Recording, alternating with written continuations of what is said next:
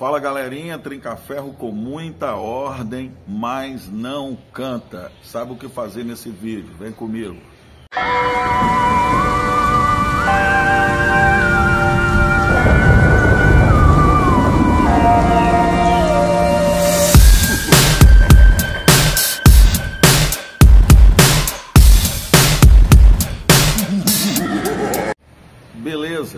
Bem? Eu sou JH Pássaro de Fibra. Se você puder, se inscreva no meu canal, deixa o like aí junto com a gente.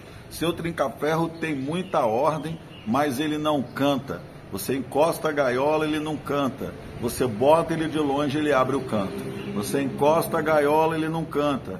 Você abre de longe, ele abre o canto. Eu, particularmente, JH, já tive um passarinho desse jeito. Entendeu? Possuía um passarinho desse jeito. Ele batia tanta cara na tala que ele chegava a machucar a cara todinha. Hoje eu tenho um falcão. O falcão é diferente. Ele bota muita ordem, belisca a anilha, cai no fundo da gaiola, mas ele volta cantando. É um passarinho meio meio afrodisíaco, meio exótico. Mas para você que está vivenciando isso, eu vou te contar a minha experiência que eu tive com um pássaro desse jeito. Para mim, tentei recuperar um monte, não tem solução. O que você pode fazer com um ou com outro para ver se dá certo é vir trazendo ele aos poucos até chegar próximo. Depois que ele estiver próximo, aí você vai saber se vale a pena ou não. Se depois de você fazer isso, ele vai cantar direitinho. Que é sempre que você vê uma roda, uma baderna, você vê que ele está cantando bem, você traz ele e coloca pelo menos 10 metros de distância. Deixa ele se acostumar. Não traz ele para o meio dos outros, não. Porque aí o que, que vai acontecer? O dia que você fizer isso, o seu pássaro, ele, se der certo, já vai estar tá acostumado com o movimento da roda. Outra coisa, quando esse pássaro é pego no meio do mato, você pode ter certeza que esse trinca-ferro que bota muita ordem, ele era aquele tipo de trinca-ferro que muitas vezes ele ia na gaiola para brigar. Você sabe aquele trinca-ferro alicate, aquele curió alicate, aquele azulão alicate, aquele galo de campina alicate? O que, que é? Aquele que quando posa na gaiola ele grampeia? Pois é. Esse tipo de passarinho seria o mais apropriado para você pegar ele. É o brigão. Porque o passarinho bom mesmo, que tem qualidade, ele fica, a gaiola está aqui, ó, ele fica numa galhazinha aqui, ó, cantando. Ele não posa na gaiola, dificilmente ele posa na gaiola. Então, o passarinho que tem muita ordem, ele é um pássaro para viver solitariamente, reproduzir, viver com a fêmea, viver dentro do viveiro, mas ele não é um pássaro para você botar em roda, ele não é um pássaro para você botar em baderna, ele não é um pássaro para você botar em lugar nenhum. Isso eu sei devido o que eu já passei, já vivi, já enfrentei com um pássaro aqui na minha casa. E sei muito bem que esse tipo de pássaro é um pássaro complicado. Já viu aquela pessoa nervosa que só quer brigar, que só quer bater, só quer machucar outra pessoa, que ela não tem diálogo, não tem conversa nenhuma? É esse tipo de pássaro. Enquanto o outro canta para ele, ele só quer saber de pegar o outro. Ele só quer saber só de machucar o outro. Ele só quer saber só de ferir o outro. Então, eu vou te passar aqui mais ou menos o que dá certo e funciona. Primeiro de tudo, se você tem esse pássaro dentro da sua casa, você deixa aqui no comentário que eu vou ler o seu comentário. Cada comentário é diferente do outro. Presta bastante atenção. Ah, deixa eu falar para vocês. Também, se você não se inscreveu no meu Instagram, se inscreve no meu Instagram. É esse aqui mesmo que está aparecendo aqui. Se inscreve no meu Instagram. E também você pode também se inscrever na minha página do Facebook que está aparecendo aqui na tela também. Você pode estar tá seguindo a gente. Mas o que eu quero falar com você é o seguinte: todo trinca-ferro tem um esquema.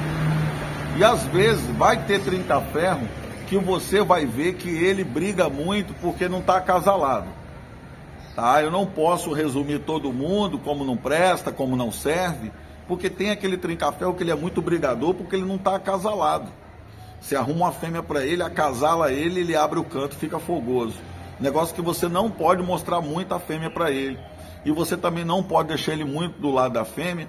Tem que ser aquele esquema que quando você vai sair, você vai levar ele, você permite ele estar numa situação boa, de qualidade, aonde ele esteja bem. Agora, se você tem dentro da sua, dentro da sua casa um trinca-ferro brigador, bota muita ordem. Quando você bota de cara, fica só querendo pegar, só querendo morder. Às vezes belisca anilha, arranca as vasilhas tudo, às vezes derruba a fruta, começa a galar, faz uma bagunça danada dentro da gaiola. Esse passarinho aí é o passarinho que se você acasalar ele dá certo. Se você arrumar uma fêmea para ele, acasalar ele, conseguir pôr uma fêmea de qualidade nele, ele vai dar certo. E como eu escolho a fêmea para esse pássaro? Presta bem atenção no que eu vou te falar. Tem que ser uma fêmea mansa, tem que ser uma fêmea que se dá bem com ele, tem que ser uma fêmea boa, de qualidade, que já tem procedência, que já tem qualidade na mexida, que já tem já aquele jeito de fazer, entendeu? E é por isso que o melhor você tem que fazer com esse tipo de passarinho é o seguinte: de noite ele dorme encapado do lado da fêmea, de manhã você tira ele sem ver a fêmea e pendura no lugar mais longe da sua casa. Quando eu falo mais longe da sua casa, não quero dizer que tem que ser, tem que ser fora da sua casa, não. O mais longe do local que a fêmea esteja. Se você mora numa casa muito pequena, aproveita para tentar fazer um prego diferente, entendeu? Um local que dá para você ver seu trinca-ferro cantando, um local que você sabe que o trinca-ferro fica no seu ponto de visão. Mas você tem que tirar ele dentro de casa. Porque se você não tira, o que que acontece? Acaba que esse pássaro, ele perde a resistência dele toda, ele vai ficar um passarinho crônico, um pássaro que gosta de brigar, um pássaro que ele muitas vezes quer pegar o outro, porque ele não tem uma casada com uma fêmea. Tá essa barulhada toda aí porque eu tô aqui na beira da rua. Então, o passarinho que bota muita ordem e não canta, ele pode ser dois tipos de passarinho. Aquele passarinho ruim, bruto, que você bota ele de cara e ele só toma canto o tempo inteiro. Toma canto o tempo inteiro. O negócio dele é brigar. Ou você pode pegar aquele trinca-ferro bonito, fogoso, que canta muito, mas que quando você bota de cara ele fica ali cantando pouco e tentando pegar. Esse passarinho, caso você arrume uma fêmea e case ele do jeito que eu te falei, seguindo passo a passo, você vai ter sucesso. Às vezes, é uma coisinha assim, um detalhe, conserta tudo.